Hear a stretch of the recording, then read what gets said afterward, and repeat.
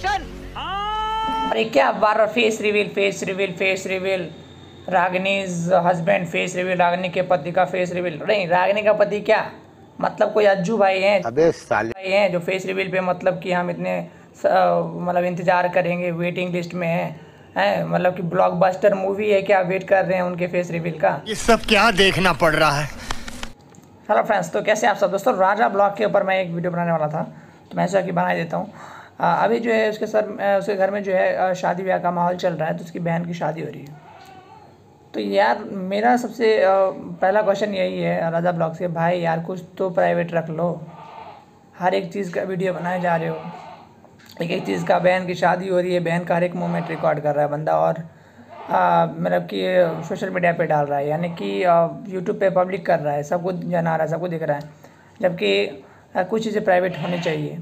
अभी उसकी शादी हो रही है तो मतलब कि ऐसा थोड़ा ना कि मतलब कि अब शादी से पहले कि जो जो हो रहा है, वो सब सब रिकॉर्ड लोग रिकॉर्डिंग करते भी हैं तो घर में प्राइवेटली देखते हैं सीडी बना के या मतलब कि रखते हैं। लेकिन इस ऐसे पब्लिकली तो नहीं करते ना।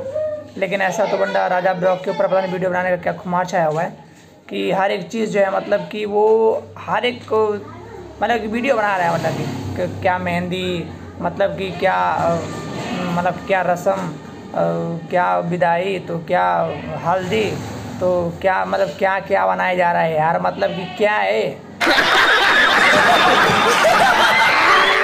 कुछ तो प्राइवेट रख लो। मैं बस ये बोलना चाहता हूँ कि भाई प्लीज़ यार इस तरह की वीडियोस बनाना बंद करो और अपना कंटेंट अच्छा सुधारो। ठीक है, राजा ब्लॉग कहीं जाओ कुछ टूरिस्ट प्लेस पे जाओ, वो दिखाओ। ठीक है ना? ये सब बहुत ही बेकार लगता है। वैसे भी राजा ब्लॉग तुम्हारा कंटेंट बहुत ही बेकार है।